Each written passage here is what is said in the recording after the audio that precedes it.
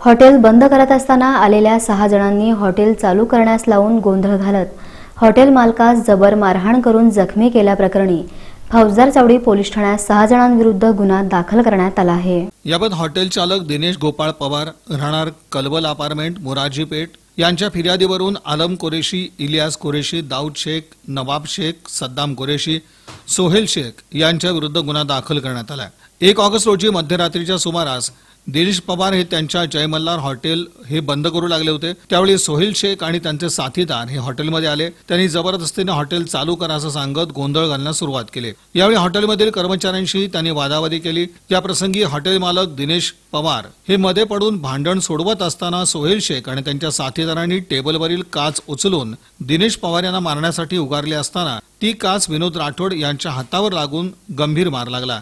या मारहाणीमध्ये हॉटेल चालक दिनेश पवार देखील जखमी झाले. जखमी अवस्थेत हॉटेलमधील कर्मचाऱ्यांना फौजदार चावडी पोलिसांनी उपचारासाठी मार्कंडे रुग्णालयात दाखल केलं होतं. याबाबत फौजदार चावडी पोलीस ठाण्यात सोहेल शेख आणि त्याच्या साथीदाराविरुद्ध गुन्हा दाखल करण्यात आला असून पोलीस उपनिरीक्षक देशमाने हे तपास करत आहेत.